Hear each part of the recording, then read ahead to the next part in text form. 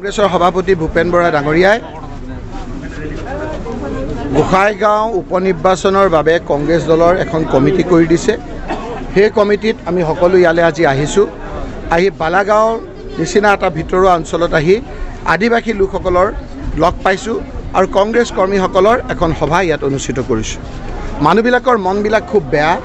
মানুহৰ হাতত টকা পইচা নাই। মানুহৰ এতিয়া ক'ভিড নাইণ্টিনৰ সময়ত মানুহৰ হাহাকাৰ লাগিছে। যিকেইটা সাঁচতীয়া ধন আছিলে এই দীঘলীয়া দিনত জমা খৰচ জমাবিলাক শেষ হৈ গ'ল। এতিয়া দোকান খুলি আছে কিন্তু বস্তু কিনিবলৈ মানুহৰ হাতত পইচা নাই। মানুহৰ হাহাকাৰ লাগিছে। তেলৰ দাম বাঢ়ি দুশ টকা হ'ল। খোৱা তেলৰ দাম যেনেকৈ বাঢ়ি গৈছে দালিৰ দাম যেনেকৈ বাঢ়ি গৈছে পেট্ৰলৰ দাম যেনেকৈ বাঢ়ি গৈছে ডিজেলৰ দাম যেনেকৈ বাঢ়ি গৈছে প্ৰত্যেকটো বয় বস্তুৰ দাম যেনেকৈ দুখীয়া মানুহে ব্যৱহাৰ কৰা বস্তুৰ দাম বাঢ়ি গৈছে মানুহৰ হাহাকাৰ লাগিছে। মানুহে কৈছে আপোনালোকে উপ নিৰ্বাচনৰ কাৰণে আহিছে আৰু আমাৰ পেটৰ ভোকত আমি কলমলাই আছোঁ। চৰকাৰখনক কৈছোঁ যে চৰকাৰ পেটৰ ভোক কমোৱাটোৰ দায়িত্ব চৰকাৰখনৰ। আমাৰ অপজিশ্যন হিচাপে আমি বিৰোধী পক্ষ হিচাপে আমাৰ দায়িত্ব চৰকাৰৰ দৃষ্টিগোচৰ কৰা। চৰকাৰক কৈছোঁ যে উপ নিৰ্বাচনৰ কাৰণে আপুনি আমি আহিছোঁ।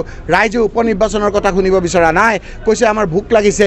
আমাৰ ভোকবিলাকত আপোনালোকে অকণমান আমাক সহায় কৰক। তাৰ পৰৱৰ্তী সময়ত আপোনালোকৰ লগত আমি উপ নিৰ্বাচনৰ কথা পাতিম। চৰকাৰে লাইটৰ বিল বঢ়া- বঢ়াই দিছে। লাইটৰ বিল বঢ়াই দিয়াৰ উপৰিও তেওঁলোকে ব্ৰিটিছৰ নিচিনা এটা এজনৰ এটা ট্ৰেন্সফৰ্মাৰত যদি দহজনে বিল নিদিয়ে এশজনৰ তেওঁলোকে কাটি দিয়ে। এই ধৰণে পাইকাৰী জৰিমনা আজি আৰম্ভ কৰিছে। এই কথাবিলাক চৰকাৰখনৰ দৃষ্টিগোচৰ কৰিছোঁ। আৰু আমাৰ ভূপেন বৰা ডাঙৰীয়াৰ নেতৃত্বত আজি আমি ঘোষণা কৰিছে যে মিথিয়াছ টুডু ডাঙৰীয়াৰ এই গোহাঁইগাঁও সমষ্টিত আমি এজন কংগ্ৰেছৰ প্ৰাৰ্থী আমি দিম আৰু এই কংগ্ৰেছৰ প্ৰাৰ্থী এজন আদিবাসী হ'ব বুলি আনুষ্ঠানিকভাৱে তেখেতসকলে ঘোষণা কৰিছে। গতিকে আজি আদিবাসী লোকসকলৰ মাজত উথপ থপ লাগিছে। আজি সকলো ভাষা জনগোষ্ঠীৰ মাজত উথপ থপ লাগিছে। আজি বড়ো ভাইসকলে আজি বি টি আৰত ভাবিছে। আমিতো যিয়ে হওক নহওক ককাই ভাই মিলি আছিলোঁ আজি বিজেপিয়ে আজি আমাৰ আমাৰ বড়ো বড়ো ভাইসকলক ভাগ ভাগ কৰিছে। কেৱল ক্ষমতাৰ কাৰণে ভাগ ভাগ কৰিছে। আজি জনজাতিৰ লোকসকলৰ আজি মনবিলাক বেয়া যে জনজাতিৰ লোকসকলৰ এজন মুখ্যমন্ত্ৰী আছিল। সেই মুখ্যমন্ত্ৰীজনক জিকাৰ পিছতো তেওঁৰ মুখ্যমন্ত্ৰীয়ে জিকাৰ পিছতো আঁতৰাই দিলে। সকলো জন সকলো জনজাতি অলপ ক্ষোভিত হৈছে জনজাতিসকলৰ মনটো বেছি বেয়া। আজি আপোনালোকে তেওঁলোকৰ কথা হ'ল যে চকু ৰাজবংশীসকলৰ কথা হ'ল যে আমাক জনজাতি কিয় নকৰে আপোনালোকে? আজি আমাৰ আদিবাসী লোকসকলৰ কথা হ'ল আমাক জনজাতি কিয় নকৰে? কিয় আমাক ল'ৰা ধেমালি কৰি আছে? আজি ছয়টা জনগোষ্ঠীক জনজাতিকৰণ কৰি অসমক জনজাতি ৰাজ্য ঘোষণা কৰি অসমৰ মুখ্যমন্ত্ৰী পদটো যদি সংৰক্ষিত কৰি জনজাতিসকলক দিয়া যায়। ইয়াৰ মানুহক কৈছে অসমৰ মানুহে কৈছে যে বহু সমস্যা সমাধান হ'ব। গতিকে আজি আপোনালোকৰ যোগেদিও আমি এক বাৰ্তা দিবলৈ বিচাৰিছোঁ যে ছয় জনজাতি যেনেদৰে প্ৰতাৰণা কৰিছে তাত ক্ষুভিত হৈছে আমাৰ কোৰ ৰাজবংশীসকল মৰাণ মটক চুতীয়া আমাৰ টি গাৰ্ডেনৰ মানুহসকল। আজি আমাৰ বিভিন্ন আমাৰ ছয় জনগোষ্ঠীৰ অন্তৰ্ভুক্ত লোকসকল আজি ক্ষুভিত হৈছে।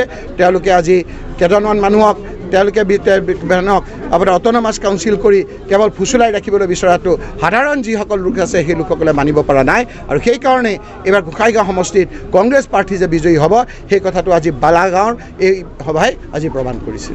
আজি আপোনালোকে চাওক ক্ষমতাৰ ৰাগীত মত্ত হৈ বিজেপিয়ে বিজেপিৰ মুখ্যমন্ত্ৰীগৰাকীয়ে প্ৰত্যেকটো জাতি জনগোষ্ঠীৰ যিবিলাক সৰু সৰু নিজৰ জাতীয় সংগঠন আছিল সেইবিলাক খাই পেলাইছে নাইকিয়া কৰি পেলাইছে। আজি গণশক্তি মিচিং লোকসকলৰ এটা নিজৰ দল এটা আছিল। তেওঁলোকৰ নিজৰ কথাখিনি কয় আজি গণশক্তি নাইকিয়া হৈ গৈছে। আজি আমাৰ তিৱা জনগোষ্ঠীৰ কাৰণে ঐক্য মঞ্চ আছিল। তেওঁৰ মানুহকো বিজেপিক জইন কৰাই আজি তিৱা আজি ঐক্য মঞ্চ নাইকিয়া হৈ গৈছে। ঠিক সেনেকৈ ৰাভা জনগোষ্ঠীৰ লোকসকলকো আপোনালোকে চাইছে তেওঁলোকৰ মাজত বিলীন কৰি দিব বিচাৰিছে।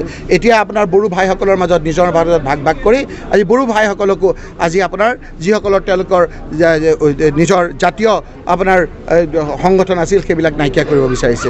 উমি উমি জ্বলি আছে এই কথা বতৰাবিলাক এদিন যেতিয়া বিস্ফোৰণ হ'ব তেতিয়া তেওঁলোকে গম পাব যে তেনেকৈ জনজাতি লোকসকলক বিভিন্ন দুখীয়া লোকসকলক এনেদৰে হেঁচি হেঁচি নাইকিয়া কৰিব খুজিলে বিস্ফোৰণ হ'লে যে তেওঁলোকৰ কি হ'ব সেই তেতিয়াহে গম পাব। তেওঁলোকে জানিব তেওঁলোকে জানিব কিন্তু এইবাৰ আমি গোসাইগাঁও সমষ্টিত আমাৰ কংগ্ৰেছৰ প্ৰাৰ্থী এজন দিম আৰু ভূপেন বৰা ডাঙৰীয়া সভাপতি ডাঙৰীয়াই ঘোষণা কৰিছে যে ইয়াত তেওঁ অল ইণ্ডিয়াৰ লগত কথা পাতিছে এজন ইয়াত আদিবাসী লোক দিয়াৰ কথাটো তেওঁ কাক দিয়ে ঠিক হোৱা নাই কিন্তু তাত দিয়াৰ কথা তেওঁ ঘোষণা কৰিছে।